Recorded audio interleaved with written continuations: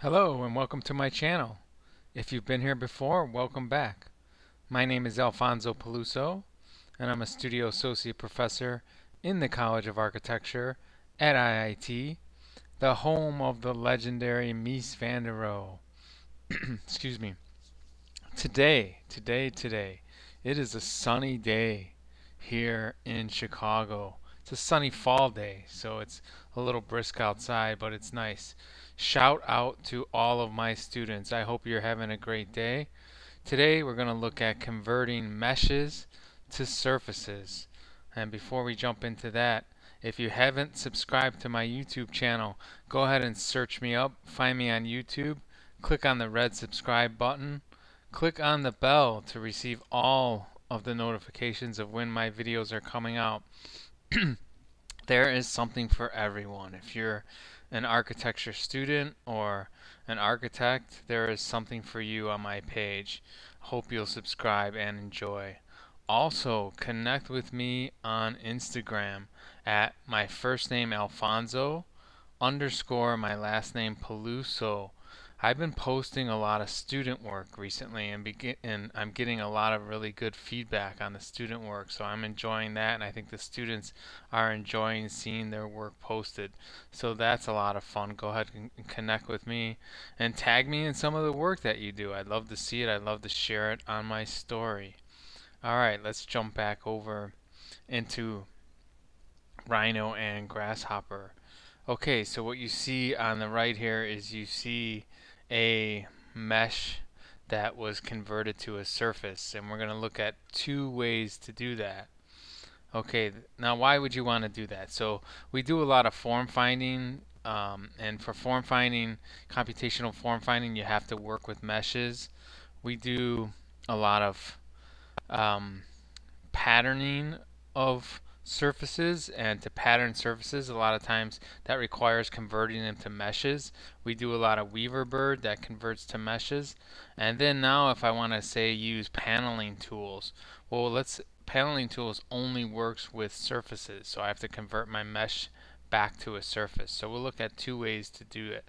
Uh, the reason we're, look, we're looking at two ways is one way might work better than another. One way might not work at all. So best to have at least two ways to do it. I know of two ways. If anyone out there knows of more ways, please let me know in the comments below. Alright, so let's take a look at what we have here. I'm going to copy and paste this here. So we'll look at the first way to do this. So you see I have a mesh. That's my mesh. And if I deselect it, underneath it is my surface. Okay, so we're going to start with the we're going to start with the mesh. Let me let me disable some of the stuff down below. Okay. Alright, we'll start with, with the mesh. So the first thing that we have to do is we have to deconstruct the mesh. So I'll bring out a deconstruct mesh and we'll plug that in. So that you're going to see is you're going to see a bunch of points. Um, it has vertices, faces, colors, and normals. So I need to add a scribble here. So this is the first way. First way to do this. First way to convert a mesh to a surface. Alright. Now I need a surface from points capsule. Surface from points. Okay, so that's gonna, so you see we have these vertices here. So Grasshopper and Rhino is going to try to make a surface based on those points. So I'm to plug the vertices into points. Okay, so it needs it needs a U count. So here's where this is tricky. It needs a U count. And that's uh, basically if I click on this bubble, input parameter U count failed to collect data. So we need a U count. So I'm going to double click and type in 25. That's going to give me a number slider from 0 to 100. Okay, so I'm it's it's red at the moment. I'm going to highlight that.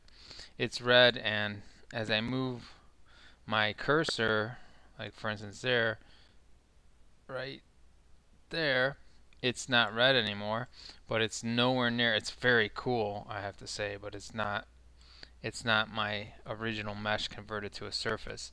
So it's about sliding this number slider until it turns not red and it is what you want. So in this case it's 22. Look at that. That's a beautiful surface right there. And now if I'm using something like paneling tools, I could go ahead and create a grid. Let's create a grid based on the surface domain number just to make sure that this works. Okay, now I'm back in business. Now I'm working with paneling tools. I have a surface made. Alright, so that's the first way. Fantastic. Alright, let's copy and paste this. And let's look at the second way to do this.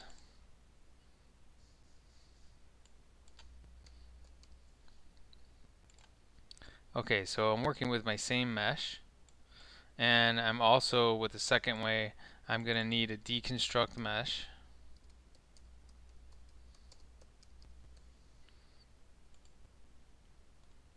Okay, we gotta have our deconstruct mesh.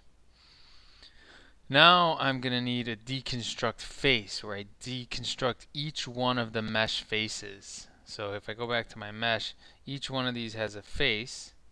So these are the mesh faces that I'm highlighting with my cursor and I'm gonna go ahead and deconstruct each one of those faces.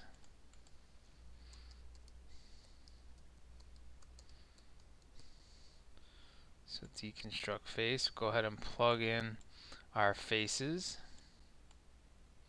Okay, we don't see anything on the screen in Rhino, but what it's doing now is it's giving us a corner for each face. So each face has four corners, A, B, C, D.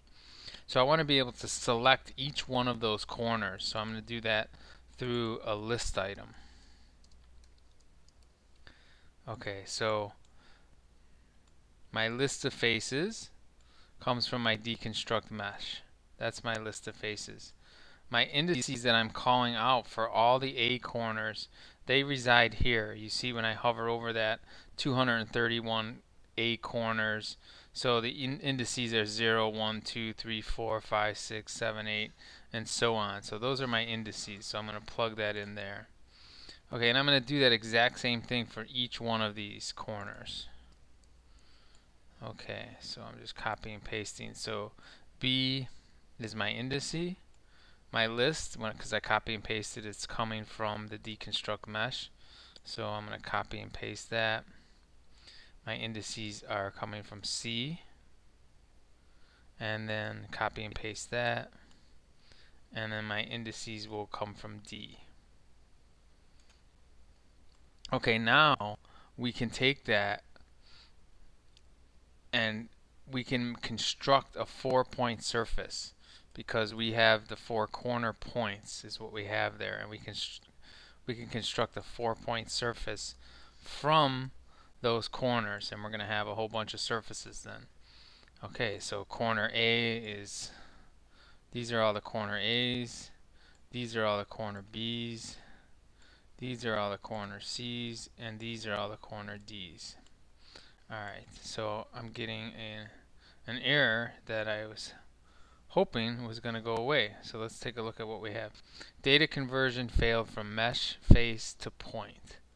Alright, so what did I do wrong? Four point surface is there.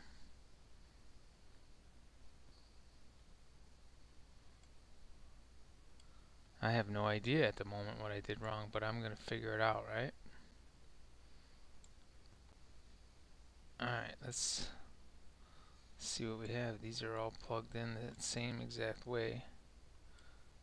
Ah, they're plugged into the vertices. That's the issue. Okay. That's why it says that's why it says data failed from mesh face to point. Mesh face right here to point. So these all have to be the points.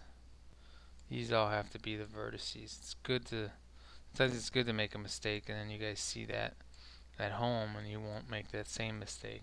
Or if you make it, you'll know what it is. Okay, look at that. So that's the surface. Now, this one's a little different because it has 231 untrimmed surfaces. And up above, like, you know, if one is better than the other, I would say the one above is better because it's one untrimmed surface. I was working with one untrimmed surface. This is working with a whole bunch. Can I?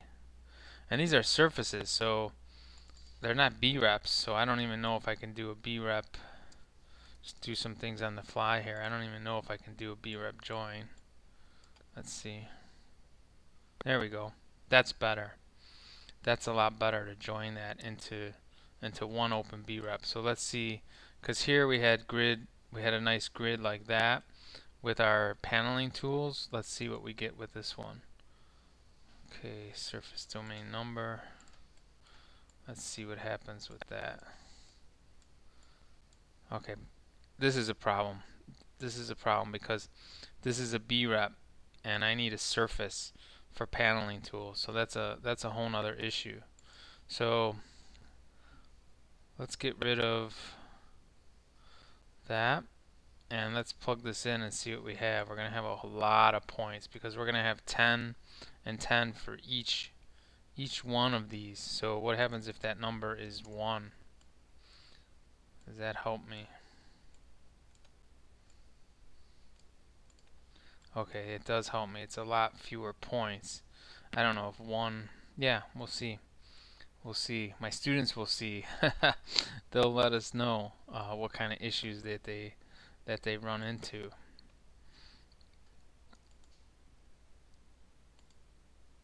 All right, I think I think that's all we needed to cover there. So let me just make a little custom preview. I like to end end with a custom preview there. Yeah, there we go, some shadow. Alright, if you found this video helpful, click on a like below. Leave me a comment, why did you like it? Click on my big head to subscribe to the channel. Click on the videos in the upper right and the lower left. Those will help you learn some more grasshopper techniques. Okay, have a great day and I'll see you on the next one.